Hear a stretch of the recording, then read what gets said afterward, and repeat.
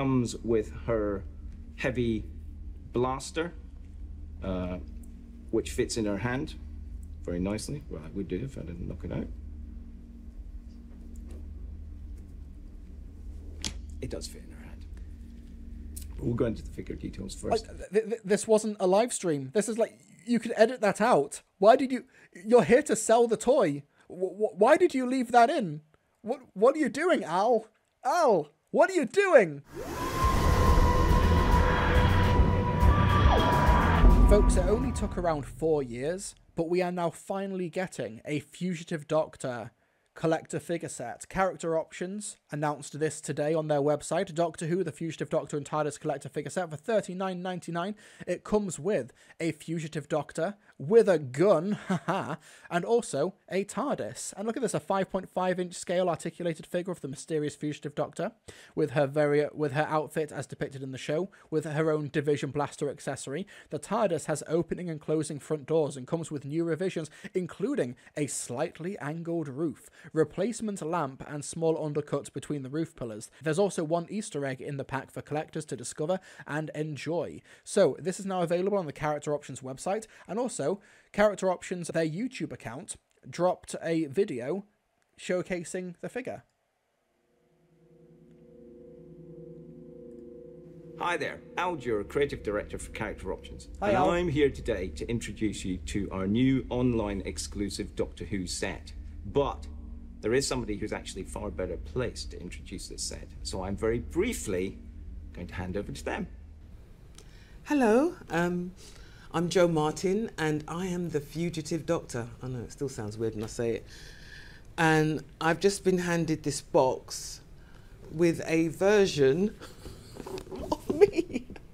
The fact that this took four years for us to be graced with this video, this image, this figure, is a crime against humanity. And I will be reporting the BBC and Chris Chibnall specifically to the Human Rights Committee in the Geneva Convention. Mm, this is the fugitive doctor doll. I'm official. It's official. No one can ever take this from me. This is amazing. Look at the. Why, why, why are people in the chat calling her mum or mother? What are you, what's going detail on? on this, and I haven't even opened the box yet. Oh my god! Look at this! Look at this! Look at this packaging, and I've got the TARDIS in there as well, and it looks like my TARDIS. I think it's my TARDIS. Yeah. Amazing work. So, thank you, The Fugitive Doctor, for that introduction to our new set, which is, of course, The Fugitive Doctor and TARDIS set. Obviously, better late than never.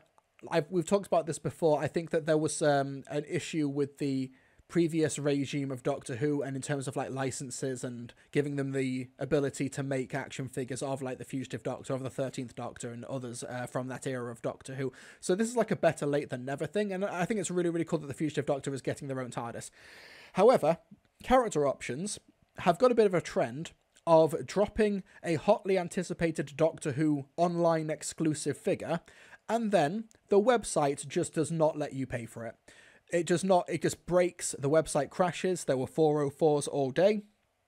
People were literally unable to go online for the online exclusive figurine and pay their $39.99, getting free delivery on all UK orders over £25. They were literally unable to give character options their money. And even just before going live, I did try to see if I could get one of these, and the basket was just breaking again. This has been live on the character options website for just under 10 hours and people are still having difficulties getting this online exclusive set.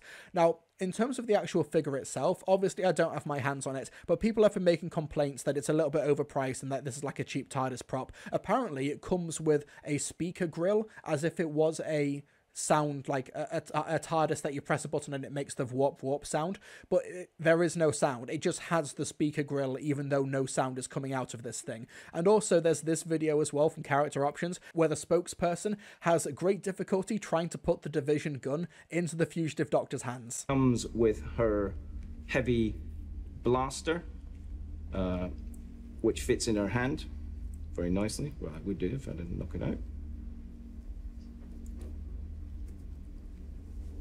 It does fit in her hand.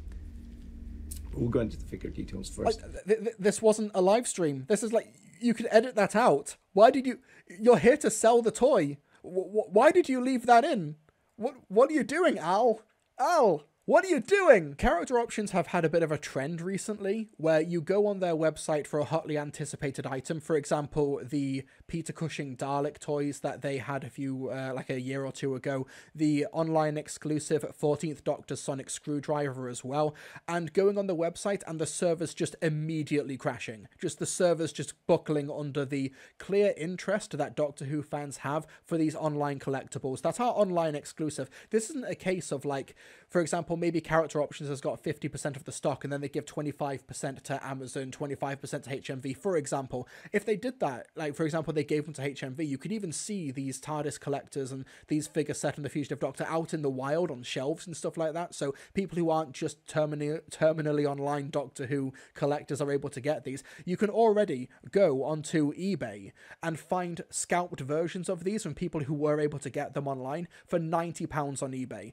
And this this this listing actually took several hours to appear on eBay because the website was so broken, people were unable to get their Fugitive Doctor figurines, that even scalpers were unable to get them to post them on eBay and sell them at more than twice the markup. Now, to be fair, if you wanted to stop scalpers from selling your products online at extortionate prices, making sure that they can't bloody get the items is a is a, you know I think that it's a hammer approach when all they needed is a, is a scalpel, but I can't deny that unintentional success. So, having a broken website, a website that breaks every time they launch a Doctor Who online exclusive thing, like the 14th Doctor Sonic Screwdriver, it's it's frustrated the fans to no end. It's it the fact that it seems to be only Doctor Who that this happens to, because character options, they don't just sell Doctor Who stuff. Stuff they sell Doggy, the one in a million robot dog, the Fingerlings, Friendship at your fingertips, uh, Teenage Mutant Ninja Turtles, etc. But it's only the Doctor Who stuff where the website just seems to perpetually crash whenever they launch something. Maybe they should think, okay, next time we launch a Doctor Who thing, maybe we should uh, increase capacity on the servers, because people want to be able to buy these things. They want to get these sets. They want to, they, they, they want to give you money character options, but it seems like your website, your infrastructure is so bad that they are literally unable to do it. I was actually able to get a Fugitive Doctor set before they posted everything on social media. They posted them on social media at like 11 o'clock, but I was in a group chat and people were posting that the listing was on the website at like 10 to 11, so I managed to pick one up then. I did get one later in the day as well, and I'm gonna, I've, I promised that one to Tharies because he was trying genuinely all day to get online and trying to get one from the character options website, but it just wasn't happening. You couldn't pay, you couldn't get to the basket, you couldn't check out. So in some cases, you couldn't even get to the bloody website. You even had uh, people like George Sheard, Ace, uh, formerly Ace Creeper, future showrunner of Doctor Who, unable to get the Fugitive Doctor figure, but still being charged for it. Money left his bank account and he received no confirmation that the order had processed. That's just impeccably bad form. Like, it, it's just the case of like, we want to give you money for these things, and if your website, your infrastructure is not working, why make it character online exclusive? Why not have like half of the stock on your website and you know, offload some of them to Amazon, to HMV. Like it's kind of like whenever they release a new collection box set or a steelbook release, and my newsletters, my email inboxes get filled with like Zavvi, HMV, and others saying new Doctor Who sets just dropped. So I can sort of like pick and choose from there. But even those who are on the character options newsletter were unable to get their hands on the Fugitive Doctor and TARDIS set. It was just incredibly bad form, and I know like the we're, we're, at the end of the day, we're talking about action figures here. We're, no, we're not talking about gujitsu, deep sea. Ew, ew, that sounds wrong. No, we are talking about figurines here, but character options are not just like an indie small company. They're dealing with a major BBC Doctor Who license, and it, it would just be nice if their website just just worked, and that even if their website was like they couldn't increase the capacity. There are ways to make this work. There, you know, there there are ways to sort of divvy up the load as well. It just seems a bit. It just seems a bit disheartening that we wait four years for a hotly anticipated release, and fans are just genuinely unable to get it and might have to resort to scalpers on the internet because of character options' inability to sort of like future proof, and then they release a video. Master, uh, which fits in her hand. very nicely. Well, I would do if I didn't knock it out. It does fit in her hand. Al, well, what is. Snooze in the chat. My online exclusive 14th Doctor Sonic broke, like, stopped lighting up, and I had to get a refund. And apparently, I'm on a list to be updated when they have more in stock. Still disappointing though. Oh, yeah, I ordered my second, uh, my Doctor Who Season 2 collection box set uh, from Zavvi, I think, and the box arrived partially damaged, but because it was a limited edition collector's thing and had sold out within a couple of weeks, there was no stock for them to replenish it and replace it. So I just now just have a damaged season two collection box set and I, I just can't I, I can't get it repaired or fixed or replaced because they've run out of stock. Like uh, isn't like the idea of just like online exclusives or, or limited edition runs with like zero wiggle room just like I, guess a really bad idea? Like what is like I, I i feel like this shouldn't really be a controversial opinion but it's it's just really weird. Now and, and it's just really frustrating because it's a figure that people have been after for a while. Like I said, this has kind of been four years in the making, but character options just completely bungled the release. Like, even people who don't like the Jodie Whittaker era might enjoy this figure, might enjoy having a brand new Doctor on their shelves or another TARDIS or something, or it's. I don't know. The, the, the, character options also teased that there was going to be an announcement on Tuesday morning as well, but people are assuming that this just is the announcement and they just they, they just they just jumped the gun with it for whatever reason. Yeah, there's only two on eBay. The website is so broken that not even the scalpers are able to get a hold of it. Jesus. Now, for, chat, do I get the Fugitive Doctor and TARDIS collection figure set, or do I get the Graham O'Brien action figure? People have been saying as well that like uh, uh we wish that like somebody had somebody like Hasbro had the license to do these Doc 2 figures as well. Because, yeah, maybe they might be more expensive, but we'd actually be able to go on their websites and buy them, buy all of the Grahams, add to basket. The, the maximum quantity allowed for purchase is one. One Graham? One Graham! Bradley Walsh has not done 20 seasons of The Chase and brought his son to co host the new series of Gladiators just so I could be told that the maximum quantity that I could purchase of him is one. God damn it. I can't. I, that's riled me up to no end. It's the meta crisis, Graham. no, the 1975 Zygon set. I'll, I'll find it. I'll find it. Zygon? Don't you mean Warriors of the Deep 1984? Oh, you tell you. I'm I'm blind. Sorry. Friends of the Thirteenth Doctor and Terror of the Zygon set. Do you get both of these? To be fair, that that's a pretty good deal. It does it come with Zygons? You got a Brigadier. Who's this? Is this Benton? Yeah, Sergeant John Benton. I mean, it's a good enough likeness that I get it. Three Grahams make a Dan.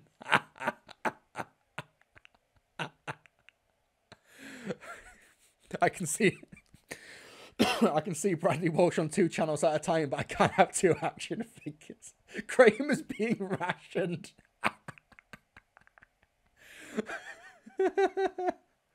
Daddy Benton to you. Why is the chat so thirsty this evening? It's like the end of time, but everyone turns into Bradley Walsh. That would actually be, oh, that would be such a fun, like, Doctor Who gag, wouldn't it? Like, you, you bring an alien as a companion or something, and, like, the Doctor's doing something in the living room, investigating whatever, and the companion alien is just watching TV.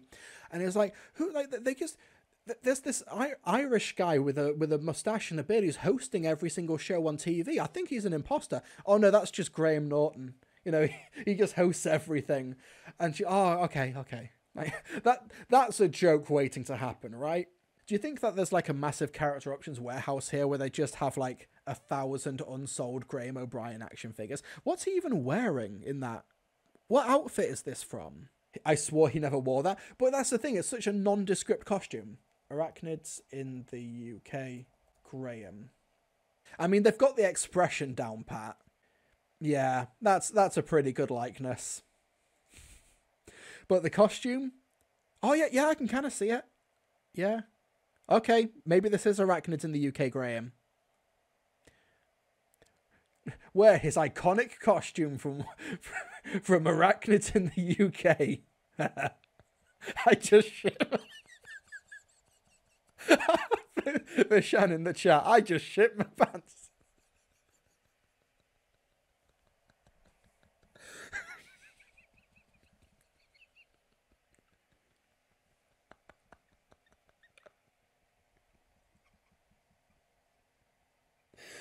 I'm crying. oh god. Oh, why did that tickle me so much? Oh god, I'm crying. Oh, the set complete is Sergeant Benton. Oh, so it's not it's not the Brigadier then. It's just a soldier. I thought that was the Brigadier.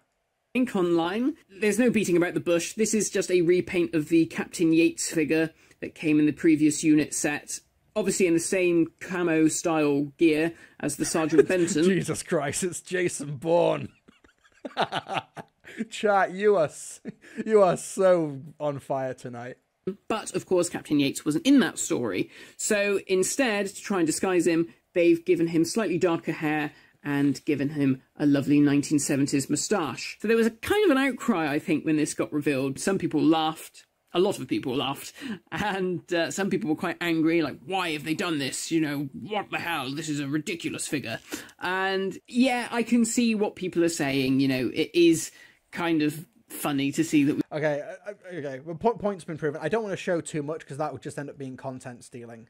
Uh, but yeah, go check out um, Batman Match. Go go go do it. Ch- check it out. Ch- check it out if you haven't already. If for whatever reason you ha- you are not subscribed to Batman Match. Even Matthew Toffolo, Batman Match, was struggling to um, get a hold of a Fugitive Doctor set, and he's like, I believe, doesn't he get sent review copies? Doesn't he get sent stuff as well from them? I'm kind of surprised that they didn't send one to him to unbox or review or something. Of okay, chat. Warriors of the Deep set three almost identical Silurian figurines for twenty nine ninety nine. Why just get one when you could have three? Why? Why not? We, we, it's just it's just leaving Silurian money on the table, isn't it? Uh, one second. What is this Al again? What's Al got to say about the three Silurians? Hello? Yeah, three Silurians, Um, yet only one Graham. This is the great replacement in action. It turns out that not my doctors were right, folks. Silurian set. So this is brand new. It's a set featuring the three Silurians from the said same story: Icthar, Scibus, and Oh god, they have names, don't they? Shit. Listen, can you get more than one?